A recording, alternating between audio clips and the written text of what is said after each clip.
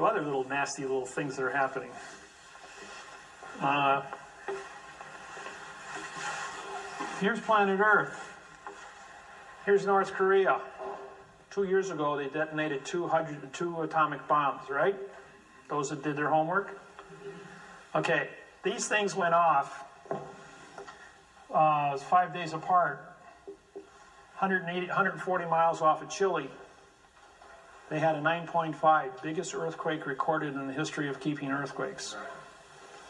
What they did is they set up a shock wave with the first one, which traveled through the earth, hit this line here, and then went like this, and through the magma created a 9.5 in Chile.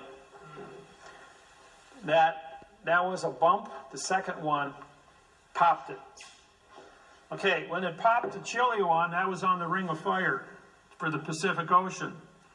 The shock wave then comes back off of this thing as it's ricocheting back over, takes out Christchurch, South, South Island of uh, New Zealand, then causes a, a volcano 18,000 feet under the water, bigger than Krakatoa, to explode, creating a six foot tsunami. That was all. Nobody died in that because it was three miles underwater.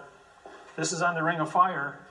And then when the shock wave comes all the way back up and focuses, he hits the trench outside of Japan, creating a nine on the Richter scale, creating the tsunami, which then took out three nukes on the coast, which are dumping 11,000 tons of plutonium radioactive water, two million times more potent than it takes to kill a person, into the Pacific Ocean now since the tsunami took place to keep the cores from going China syndrome. They still haven't got that thing under control. It's still burning out of control. And they pump 11,000 tons of radioactive plutonium water on this thing every day. This isn't made public to the public. Very little of this is public. Uh, satellite photos in, I think it was April, showed that they're drilling a hole 27,000 feet deep. The first nuke put a crack in the earth. The second nuke was they they were able to use the second atomic bomb to identify magma, shockwave through magma. They can target through a shape charge any country on the planet with a shape charge through magma. There's a no-fly zone over North Korea, so their air force is useless.